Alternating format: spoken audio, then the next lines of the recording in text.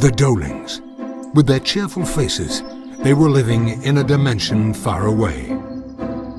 How they used to love watching other cultures and impersonating them. But that terrible day, a meteor fell from the heavens. The poisonous gas, it leaked out and affected them one by one. Those toxicated went wild, then turned into stone. Time was running out. Something had to be done. Thanks to Dr. Morpheus, he found a cure to save his people. But things got messy. He was attacked by his diseased kin.